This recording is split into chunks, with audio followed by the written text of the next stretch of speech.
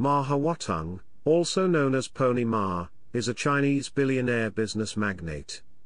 He is the founder, chairman and chief executive officer of Tencent, Asia's most valuable company, one of the largest internet and technology companies, and one of the biggest investment, gaming and entertainment conglomerates in the world. The company develops China's biggest mobile instant messaging service, WeChat, and its subsidiaries provide media, entertainment, payment systems, smartphones, internet-related services, value-added services and online advertising services, both in China and globally. In 2007, 2014, and 2018, Time magazine named him one of the world's most influential people, while in 2015, Forbes credited him as one of the world's most powerful people. In 2017, Fortune ranked him as among the top businessmen of the year. In 2018, he was named one of the most powerful people in the world by the CEO World magazine. Ma was a deputy to the Shenzhen Municipal People's Congress and a delegate in the 12th National People's Congress. Being one of Fortune World's greatest leaders, Ma is known for his low-profile personality as compared to fellow Chinese businessman, and Alibaba founder Jack Ma's outgoing personality. Ma has been compared to American investor Warren Buffett for their similar investment approaches, and often described as an aggressive acquisitor. As of April 2021, he is China's richest man with a net worth of 59.5 billion US dollars according to Bloomberg Billionaires Index. In November 2017, his net worth briefly surpassed that of Larry Page and Sergey Brin ranking him the ninth richest man in the world, and the first citizen from China to enter Forbes' top 10 richest list, though the net worth of Page and of Brin have each since eclipsed that of Ma. Chapter 1 Early Life and Education Ma was born in Chaoyang, Shantou, Guangdong. When his father, Ma Changqiu, got a job as a port manager in Shenzhen, the young Ma accompanied him. He was enrolled in Shenzhen University in 1989, and graduated in 1993 with a bachelor's degree in computer science.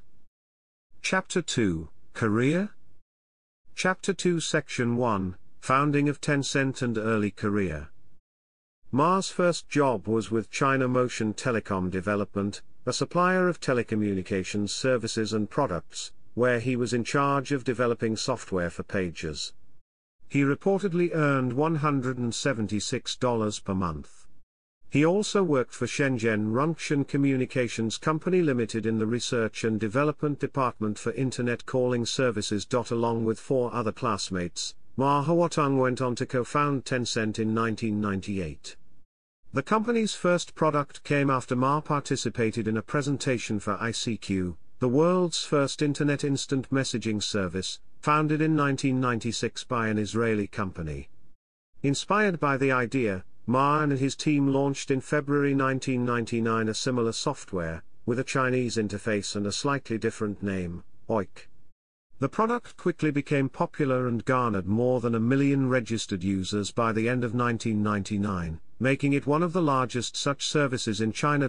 Talking about the founding of Tencent, he told China Daily in a 2009 interview that if I have seen further, it is by standing on the shoulders of giants, paraphrasing a quote attributed to Isaac Newton and referencing the similarities between ICQ and OICQ. We knew our product had a future, but at that time we just couldn't afford it, Ma remembered. In order to solve the problem, Ma asked for bank loans and even talked about selling the company. Since Tencent's prized service OICQ was offered free of charge, the company looked to venture capitalists to finance its growing operational costs.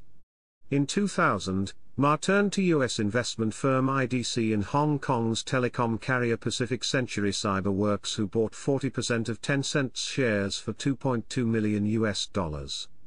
With the pager market declining, Ma improved the messaging platform by allowing QQ users to send messages to mobile handsets.